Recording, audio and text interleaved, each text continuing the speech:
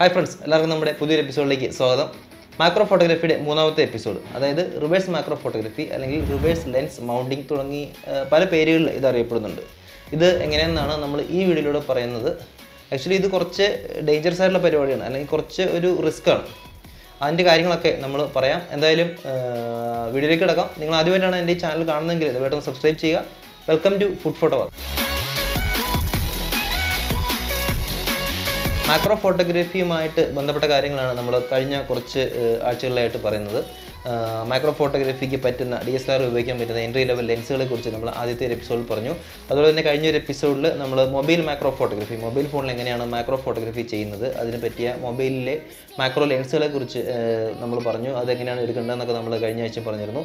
ഇന്നത്തെ വീഡിയോയിൽ നമ്മൾ പറയുന്നത് റിവേഴ്സ് ലെൻസ് മൗണ്ടിങ് എന്ന് പറയുന്ന ഒരു ടെക്നോളജിയെ കുറിച്ചാണ് അതിനു മുമ്പ് ഇതിന്റെ കുറച്ച് റിസ്ക് ഫാക്ടേഴ്സ് ഉണ്ട്. അതായത് ഇങ്ങനെ ചെയ്യുന്നത് ചിലപ്പോൾ നിങ്ങളുടെ ക്യാമറയെ ലെൻസിനെ അപകടകരമായി ബാധിക്കാം. അതുകൊണ്ട് ഈ പറയുന്ന കാര്യങ്ങൾ ഒന്ന് ശ്രദ്ധിക്കുക. ഞാൻ ആരെയും ഇങ്ങനെ ഒരു ഈ രീതിയിലുള്ള ഒരു മൈക്രോ ഫോട്ടോഗ്രാഫി ചെയ്യാനായിട്ട് അല്ലെങ്കിൽ റിവേഴ്സ് ലെൻസ് മൗണ്ടിങ് ചെയ്യാൻ വേണ്ടിയിട്ട് റെക്കമെൻഡ് ചെയ്യില്ല. അത് നിങ്ങളുടെ സ്വന്തം റിസ്കിൽ തന്നെ നിങ്ങൾ ചെയ്യുക. ലെൻസിനോ ക്യാമറയ്ക്കോ എന്തെങ്കിലും കേടുപാടുകളോ അല്ലെങ്കിൽ നഷ്ടങ്ങളോ ഉണ്ടായി കഴിഞ്ഞിട്ടുണ്ടെങ്കിൽ നമുക്കതിനകത്ത് പറയാൻ പറ്റില്ല. അതായത് എന്താ പറയുക അതിനൊരു ഒരു സർവീസ് അല്ലെങ്കിൽ അതിന് വരുന്ന ഒരു എക്സ്പെൻസ് വളരെ കൂടുതലാണ്. അതുകൊണ്ട് വളരെ സൂക്ഷിച്ച് മാത്രം ചെയ്യേണ്ട ഒരു കാര്യമാണ് ഈ റിവേഴ്സ് ലെൻസ് മൗണ്ടിങ് എന്ന് പറയുന്നത്. ആക്ച്വലി റിവേഴ്സ് ലെൻസ് മൗണ്ടിങ് എന്ന് പറയുന്നത് പല രീതിയിൽ ചെയ്യാം.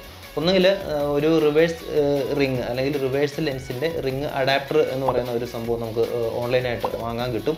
ആ സംഭവം നമ്മുടെ ലെൻസിൽ അറ്റാച്ച് ചെയ്തിട്ട് സാധാരണ ഗതിയിൽ ക്യാമറയിൽ മൗണ്ട് ചെയ്തിട്ട് ലെൻസ് അതിലേക്ക് മൗണ്ട് ചെയ്തിട്ട് ചെയ്യാൻ പറ്റും. നിങ്ങൾക്ക് ഞാൻ ഈ വീഡിയോയിൽ കാണുന്നത് പോലെ ആണ് ഇതിന്റെ ഒരു ക്രമീകരണം അല്ലെങ്കിൽ ഇതിന്റെ ഒരു ടെക്നോളജി നമ്മൾ സാധാരണയായിട്ട് ലെൻസ് മൗണ്ട് ചെയ്യുന്നത് ക്യാമറയുടെ മുന്നിലുള്ള ലെൻസിന്റെ അറ്റാച്ച്മെന്റ് അല്ലെങ്കിൽ ക്യാമറയുടെ മുന്നിലുള്ള മൗണ്ടിലാണ്. ഈ മൗണ്ടിൽ നമ്മുടെ ഉപയോഗിക്കുന്ന ലെൻസ് അതൊരു കിറ്റ് ലെൻസ് ആകാം ഒരു പ്രൈം ലെൻസ് ആകാം അത് നേരെ തിരിച്ച് അല്ലെങ്കിൽ നേരെ റിവേഴ്സ് ആയിട്ട് മൗണ്ട് ചെയ്തിട്ടാണ് ഇങ്ങനെ ഒരു മാക്രോ ഫോട്ടോഗ്രാഫി സാധ്യമാകുന്നത്. അല്ലെങ്കിൽ ചെറിയ രീതിയിലുള്ള ഒബ്ജക്റ്റ് ചെറിയ ഇൻസെക്റ്റ് അതുപോലെ തന്നെ ചെറിയ പൂക്കളുടെയൊക്കെ ഫോട്ടോ എടുക്കുമ്പോൾ വളരെ വലിയ ഒരു ഇമേജ് അല്ലെങ്കിൽ വളരെ വലിയ ഒരു ഫോട്ടോ ആയിരിക്കും നമുക്ക് കിട്ടുന്നത്. അതിന്റെ ഒരു മാഗ്നിഫിക്കേഷൻ റേഷ്യോ കൂടുതലായിരിക്കും എന്നാണ് ഞാൻ പറഞ്ഞു വരുന്നത്. സോ ഇങ്ങനെ ഇത് എന്നെങ്ങനെയാണ് ചെയ്യേണ്ടത് എന്ന് പറഞ്ഞുതരാം. നമ്മൾ വാങ്ങുന്ന ഈ അഡാപ്റ്ററിൽ ലെൻസിന്റെ മുൻഭാഗം അറ്റാച്ച് ചെയ്യാനായിട്ടുള്ള ഒരു ക്രമീകരണമുണ്ട്. ആ രീതിയിൽ മൗണ്ട് ചെയ്യുക. ഞാനിവിടെ ഉപയോഗിച്ചിരിക്കുന്നത് ആ ഒരു അഡാപ്റ്റർ ഞാൻ വാങ്ങിയിട്ടില്ല. ഞാൻ സാധാരണ പോലെ തന്നെ നമ്മുടെ ലെൻസ് റിവേഴ്സ് ചെയ്ത് അല്ലെങ്കിൽ ലെൻസ് നേരെ തിരിച്ച് പിടിച്ച് ക്യാമറയുമായിട്ട് ചേർത്ത് പിടിച്ചിട്ടാണ് ഞാൻ ഇവിടെ ചെയ്തിരിക്കുന്നത്. ഇങ്ങനെയും ചെയ്യാം. അപ്പോൾ ഇതിൽ ശ്രദ്ധിക്കേണ്ട കുറച്ച് കാര്യങ്ങൾ നമ്മൾ ആദ്യം തന്നെ പറയുകയാണ്. ലെൻസ് റിമൂവ് ചെയ്യുമ്പോൾ ക്യാമറയുടെ മിററിലോ അല്ലെങ്കിൽ സെൻസറിലോ എന്തെങ്കിലും തരത്തിലുള്ള പൊടിപടലങ്ങൾ വീഴാനായിട്ടോ അല്ലെങ്കിൽ ഫിസിക്കലായിട്ടുള്ള ഡാമേജ് ഉണ്ടാകാനായിട്ടോ സാധ്യതയുണ്ട്. അപ്പോൾ ഏറ്റവും കരുതിയിരിക്കുക എന്തെങ്കിലും ഒരു വസ്തുക്കൾ കൊണ്ടോ അല്ലെങ്കിൽ പെൻ അതുപോലെയുള്ള ഷാർപ്പായിട്ടുള്ള ഇൻസ്ട്രുമെന്റ്സ് കൊണ്ട് ഒന്നും ക്യാമറയുടെ ഉള്ളിലോ മിററിലോ സെൻസറിലോ ഒന്നും സ്പർശിക്കാൻ ശ്രമിക്കരുത്. അത് തീർച്ചയായിട്ടും ക്യാമറയുടെ സെൻസറിന് കേടുപാടുണ്ടാക്കാൻ സാധ്യതയുണ്ട്. ഒപ്പം തന്നെ ഈ ലെൻസിന്റെ ഉള്ളിലുള്ള ഭാഗം അല്ലെങ്കിൽ ലെൻസിന്റെ ക്യാമറയായിട്ട് അറ്റാച്ച് ചെയ്യുന്ന ഭാഗത്തുള്ള ഗ്ലാസ്സിലും കൈകൊണ്ട് സ്പർശിക്കാനോ അല്ലെങ്കിൽ അതിന്റെ ഇലക്ട്രോണിക് അഡ്ജസ്റ്റ്മെന്റുകൾ ഒന്നും തൊടാനോ ഇലക്ട്രോണിക് കോൺടാക്ട്സ് എന്തെങ്കിലും നമ്മൾ കൈകൊണ്ട് ടച്ച് ചെയ്യാൻ ഒന്നും ശ്രമിക്കരുത്. ഇതൊക്കെ ലെൻസിന് ദോഷകരമായി ബാധിക്കാൻ സാധ്യതയുണ്ട്. ഇങ്ങനെയുള്ള എല്ലാ റിസ്ക്കും അറിഞ്ഞുകൊണ്ട് വേണം ഇത് ചെയ്യാനായിട്ട്. പിന്നീട് ശ്രദ്ധിക്കേണ്ട ഒരു കാര്യം നമ്മുടെ ഇതിന് ഇനിയുള്ള ലെൻസ് തിരിച്ച് മൗണ്ട് ചെയ്തുകൊണ്ടുള്ള എല്ലാ അഡ്ജസ്റ്റ്മെന്റുകളും നമ്മുടെ കൈകൊണ്ടായിരിക്കണം. അതായത് ലെൻസും ക്യാമറയും തമ്മിൽ ഇലക്ട്രോണിക് കോൺടാക്ട്സ് ഒന്നുമില്ല. അതെല്ലാം നമ്മൾ തിരിച്ച് മൗണ്ട് ചെയ്യുമ്പോൾ അങ്ങനെയുള്ള ഇലക്ട്രോണിക് കോൺടാക്ട്സ് എല്ലാം നഷ്ടപ്പെടുകയാണ്. നമ്മുടെ അപ്പർച്ചർ കൺട്രോൾ ഫോക്കസ് കൺട്രോൾ എന്നിവയെല്ലാം തന്നെ നമ്മുടെ കൈകൊണ്ടായിരിക്കും. അല്ലെങ്കിൽ നമ്മുടെ കൈകൊണ്ട് ഇതെല്ലാം അഡ്ജസ്റ്റ് ചെയ്യണം. ഞാനിപ്പോൾ ഉപയോഗിക്കുന്നത് ഒരു fifty M M one point eight അപ്രച്ചറുള്ള ലെൻസാണ് ഇങ്ങനെയുള്ള ഫോട്ടോഗ്രാഫിക്ക് അല്ലെങ്കിൽ മാക്രോ ഫോട്ടോഗ്രാഫിക്ക് ചില പ്രശ്നങ്ങൾ ഉള്ളത് ലൈറ്റ് വളരെ കുറവായിട്ടായിരിക്കും അകത്തേക്ക് വരിക. അല്ലെങ്കിൽ വളരെ ചെറിയ എമൗണ്ട് ഓഫ് ലൈറ്റ് സെൻസറിലേക്ക് എത്തുന്നുള്ളൂ. അതുകൊണ്ട് തന്നെ വൈഡ് അപ്പർച്ചറുള്ള ലെൻസ് ഉപയോഗിച്ച് ചെയ്യുന്നതായിരിക്കും കൂടുതൽ നല്ലത്. ഒരു കിറ്റ് ലെൻസ് ഉപയോഗിച്ച് അല്ലെങ്കിൽ eighteen fifty five M M ഉള്ള ഒരു കിറ്റ് ലെൻസ് ഉപയോഗിച്ച് നമുക്ക് ചെയ്യാം. പക്ഷേ ഞാൻ നേരത്തെ ഒരു പ്രാവശ്യം ചെയ്ത് നോക്കിയപ്പോൾ അത് അത്രയൊരു സക്സസ് ആയിരുന്നില്ല. എനിവേ ഞാനിപ്പോൾ ഈ ഒരു ലെൻസ് വെച്ചാണ് നമ്മൾ ഇന്ന് ചെയ്ത് നോക്കുന്നത് അപ്പർച്ചർ കൺട്രോൾ ഒപ്പം തന്നെ ഫോക്കസ് കൺട്രോൾ എല്ലാം നമ്മുടെ കയ്യിലാണ്. ആ ഒരു കാര്യം ശ്രദ്ധിക്കുക. ദെൻ കയ്യിൽ ക്യാമറ ഹോൾഡ് ചെയ്ത് പിടിച്ച് ലെൻസ് റിവേഴ്സ് ഫോർമാറ്റ് അല്ലെങ്കിൽ റിവേഴ്സ് മെത്തേഡിൽ ക്യാമറയോട് ചേർത്ത് പിടിച്ചിട്ടാണ് ഷൂട്ട് ചെയ്യേണ്ടത്.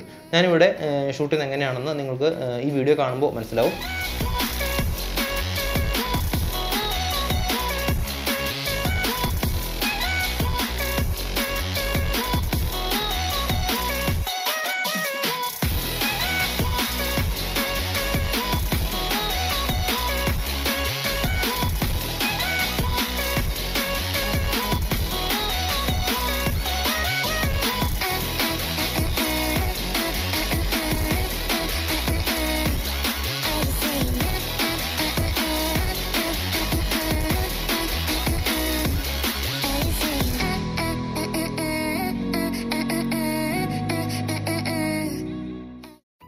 ഞാനിവിടെ ഉപയോഗിച്ചിരിക്കുന്ന ലെൻസിന്റെ അപ്പർച്ചർ വൺ പോയിന്റ് എയ്റ്റ് ആണെന്ന് പറഞ്ഞല്ലോ. അതായത് ഒരു വൈഡ് അപ്പർച്ചറാണ്. അത്യാവശ്യം കൂടുതൽ എമൗണ്ട് ഓഫ് ലൈറ്റ് സെൻസറിലേക്ക് എത്തുന്നുണ്ട്. അതുകൊണ്ട് തന്നെ ഈ ലെൻസിന്റെ ഉള്ളിലുള്ള അപ്പർച്ചർ കൺട്രോൾ ചെയ്യുന്ന ഒരു ഒരു കൺട്രോളുണ്ട്. ആ കൺട്രോളിൽ ജസ്റ്റ് കൈ തൊട്ടുകൊണ്ട് അല്ലെങ്കിൽ ആ കൺട്രോളിലൂടെ ലെൻസിന്റെ അപ്പർച്ചർ ഓപ്പണിംഗ് തുറന്നുകൊണ്ടാണ് ഈ ഒരു ഒരു ടെക്നിക്ക് നമ്മൾ സാധ്യമാകുന്നത്. ഇനിയിപ്പോൾ അപ്പർച്ചർ റിങ്ങുകളുള്ള ലെൻസുകളുണ്ട് പഴയ നിക്കോണിന്റെയൊക്കെ ലെൻസ് അല്ലെങ്കിൽ അനോണ്ടേക്ക് ലെൻസിൽ തന്നെ അപ്പർച്ചർ റിങ്ങും കൂടി ലെൻസിൽ തന്നെ വരുന്ന ലെൻസുകളുണ്ട് ആ ലെൻസുകൾ ഉപയോഗിക്കുകയാണെങ്കിൽ കുറച്ചുകൂടെ എളുപ്പമായിരിക്കും. ദെൻ ഫോക്കസ് ലെൻസിന്റെ ഫോക്കസ് അതായത് നമ്മുടെ ഒബ്ജക്റ്റ് വളരെ ചെറുതായതുകൊണ്ടും അതുപോലെ തന്നെ വളരെ അടുത്തായതുകൊണ്ടും അതിനൊരു കൃത്യമായ ഫോക്കസിൽ കൊണ്ടുവരാനായിട്ട് നമുക്ക് കുറച്ചൊന്ന് ബുദ്ധിമുട്ടാണെന്നുണ്ട് അപ്പോൾ ഇങ്ങനെയുള്ള അവസരങ്ങളിൽ ഒന്നുകിൽ നമ്മൾ ഫോക്കസ് റിങ് മെല്ലെ തിരിച്ചുകൊണ്ട് ഫോക്കസ് കൺട്രോൾ കൊണ്ട് ഫോക്കസ് കൊണ്ടുവരേണ്ടതാണ്. ഒരു ഒരു ഒരു എളുപ്പവഴി അല്ലെങ്കിൽ ഒരു ഒരു ടെക്നിക്ക് ഉള്ളത് നമ്മൾ ക്യാമറ മുന്നിലേക്കും പിന്നിലേക്കും അഡ്ജസ്റ്റ് ചെയ്തുകൊണ്ട് അല്ലെങ്കിൽ അതിന്റെ ഡിസ്റ്റൻസ് ക്രമീകരിച്ചുകൊണ്ട് നമുക്ക് ഫോട്ടോ എടുക്കാം എന്നുള്ളതാണ്. അതായത് വളരെ ചെറിയ ഒരു ഏരിയ മാത്രമേ നമുക്ക് ചിലപ്പോൾ ഫോക്കസ് കൊണ്ടുവരാനായിട്ട് സാധിക്കത്തുള്ളൂ എന്നുള്ളതാണ് ഇതിന്റെ ഒരു പ്രത്യേകത. നമ്മൾ നേരത്തെ മാക്രോ ലെൻസിന്റെ കാര്യം മൊബൈലിലെ മാക്രോ ലെൻസിന്റെ കാര്യം പറഞ്ഞപ്പോഴും ഈ ഒരു കാര്യം നമ്മൾ പറഞ്ഞാണ്. വളരെ ചെറിയ ഒരു ഏരിയ മാത്രമേ നമുക്ക് ഫോക്കസ് കൊണ്ടുവരാനായിട്ട് സാധിക്കത്തുള്ളൂ. ഞാനിപ്പോൾ നിങ്ങൾ ഈ പൂവിന്റെ ഫോട്ടോ എടുത്ത് കഴിയുമ്പോൾ കാണുമ്പോൾ നിങ്ങൾക്ക് മനസ്സിലാകും. അപ്രച്ചർ കൺട്രോൾ ചെയ്യാനായിട്ട് നമ്മുടെ കൈ ജസ്റ്റ് നേരത്തെ പറഞ്ഞ അപ്പർച്ചറിന്റെ റിങ്ങിൽ അല്ലെങ്കിൽ അപ്പർച്ചറിന്റെ സ്വിച്ചിൽ കൺട്രോൾ ചെയ്ത് കഴിഞ്ഞിട്ടുണ്ടെങ്കിൽ കൂടുതൽ ലൈറ്റ് എന്റർ ചെയ്യുന്നതായിട്ട് നമുക്ക് ഈ ലൈവ് വ്യൂവിൽ അല്ലെങ്കിൽ എൽ സി ഡി സ്ക്രീനിൽ നോക്കുമ്പോൾ നമുക്ക് മനസ്സിലാകും. ജസ്റ്റ് ഫോക്കസിൽ കൊണ്ടുവരാനായിട്ട് നമ്മുടെ ക്യാമറ മുന്നിലേക്ക് പിന്നിലേക്ക് അഡ്ജസ്റ്റ് ചെയ്ത് ഫോക്കസിൽ കൊണ്ടുവന്നിട്ട് ചിത്രങ്ങൾ എടുത്ത് നോക്കുക എന്നുള്ളതാണ്. കൃത്യമായി ഫോക്കസ് അച്ചീവ് ചെയ്യാനായിട്ട് നല്ല ക്ഷമ വേണം. അതുപോലെ തന്നെ കൂടുതൽ ട്രൈ ചെയ്യേണ്ടി വരും. അപ്പോൾ ഇതൊക്കെയാണ് ഒരു മാക്രോ ഫോട്ടോഗ്രാഫിയുടെ റിവേഴ്സ് ലെൻസ് മൗണ്ടിങ് എന്ന് പറയുന്ന ഒരു ടെക്നിക്കിൽ വരുന്നത്. നിങ്ങൾ റിവേഴ്സ് ലെൻസ് അഡാപ്റ്റർ യൂസ് ചെയ്യുകയാണെങ്കിൽ കുറച്ചുകൂടെ എളുപ്പത്തിലായിട്ട് ചെയ്യാം. പക്ഷേ ഇങ്ങനെയുള്ള കാര്യങ്ങൾ യൂസ് ചെയ്യുമ്പോൾ ശ്രദ്ധിക്കുക. ക്യാമറയുടെ ഉള്ളിലോ അല്ലെങ്കിൽ ലെൻസിന്റെ ഉള്ളിലോ ഒക്കെ പോറലുകൾ ഉണ്ടാകാനായിട്ട് സെൻസറിൽ കേടുപാടുകൾ ഉണ്ടാകാനായിട്ട് അതിന്റെ ഇലക്ട്രോണിക് കോണ്ടാക്ട്സ് എന്തെങ്കിലും തരത്തിൽ ഡാമേജ് ഒക്കെ ഉണ്ടാകാനായിട്ട് വളരെ സാധ്യത കൂടുതലാണ്. അപ്പോൾ ഞാനിത് ആർക്കും റെക്കമെൻഡ് ചെയ്യുന്നില്ല. നിങ്ങൾ സ്വന്തം റിസ്കിൽ തന്നെ ചെയ്യുക. അപ്പം എന്തായാലും നമ്മുടെ മാക്രോ ഫോട്ടോഗ്രാഫിയുടെ ഒരു ടെക്നിക്ക് എന്നുള്ള രീതിയിൽ തന്നെ നമ്മൾ ജസ്റ്റ് ഇതൊന്ന് പറഞ്ഞു പോയെന്നേ ഉള്ളൂ. അപ്പോൾ നമ്മൾ എടുത്ത ചിത്രങ്ങൾ ഇവിടെ കാണിക്കുന്നുണ്ട്. എങ്ങനെയാണ് എടുത്തതെന്നുള്ള വീഡിയോ കാണിക്കുന്നുണ്ട്. അപ്പോൾ ഇതൊന്ന് ചെയ്ത് നോക്കുക. നിങ്ങളുടെ സ്വന്തം റിസ്കിൽ ചെയ്ത് നോക്കുക. വീഡിയോ ഇഷ്ടപ്പെട്ടാൽ ചാനൽ സബ്സ്ക്രൈബ് ചെയ്യാൻ മറക്കരുത്. Bye for now stay tuned this is food photo